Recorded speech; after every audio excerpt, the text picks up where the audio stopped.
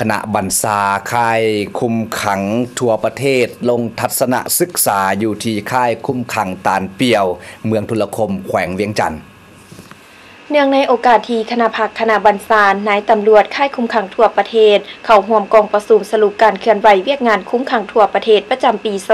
2019 ในวันที่ 30 มังกร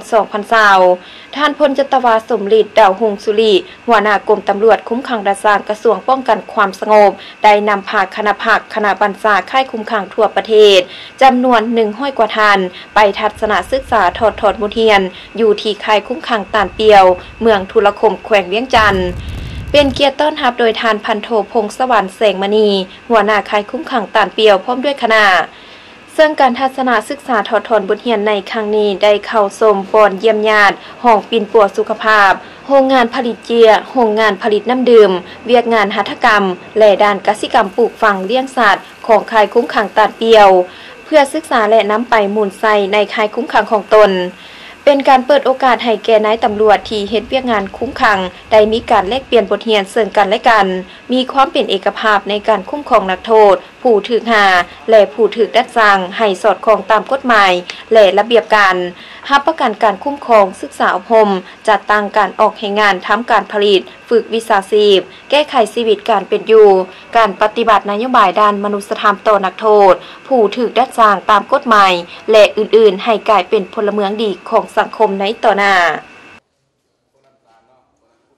มื้อนี้ก็แม่นมีความยินดีแล้วที่ว่าได้รับต้อนบรรดาผู้แทนโดยเฉพาะแม่นบรรดาหัวหน้าค่ายคุ้มขัง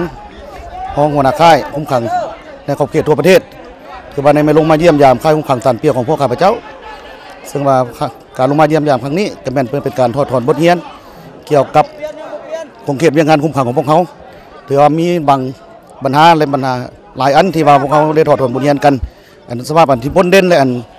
ยอท่อที่อยู่ภายในค่ายคุ้มขังนี้เนาะข้าพเจ้าก็แม่นว่าเขามีความภาคภูมิใจแล้วเนาะที่ว่าได้ต้อนกันอย่างอบอุ่นจากบรรดาสหายผู้แทนที่มาเข้าร่วมกองประชุมในครั้งนี้ ฉะนั้นผ่านการทัศนศึกษาตัวจริง หรือว่าการลงมาเยี่ยมยามพวกเขาใครตันเปี้ยวกับแม่นได้ลงไปพาบรรดาผู้แทน ไปเบิ้งพื้นฐานการผลิตตัวจริงของค่ายคุ้มขังตันเปี้ยวของเขาในปัจจุบันแม่นได้ลงมือเฮ็ดเนาะโดยเฉพาะแม่นการปลูกฝังเลี้ยงสัตว์เนาะการปลูกอันปลูกฝังเลี้ยงสัตว์แล้วก็แม่นการหารายได้ โดยเฉพาะแม่นการเลี้ยงดูกำลัง ในนั้นอันนี้พ้นเด่นของพวกเขาเนแม่นหนึ่งและแม่นการผลิตโรงงานโรงงานดินบล็อกเนาะโรงงานโรงงานเชียร์กงเต็กผมเห็นโรงงานน้ำก้อนเนาะและอื่นที่ว่ามันมีหลายอันที่ว่าเป็นพื้นฐานให้แก่การสร้างเศรษฐกิจของค่ายตานเปียวของพวกเขา